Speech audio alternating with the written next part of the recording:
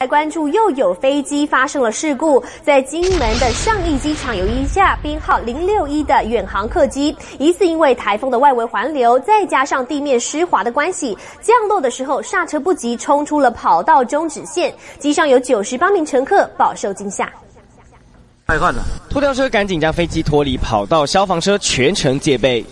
地勤人员忙进忙出，就是因为这架远东航空编号零六一客机疑似因为降落速度太快，不慎冲出跑道。紧急刹车的时候，整个人撞到前面的座子。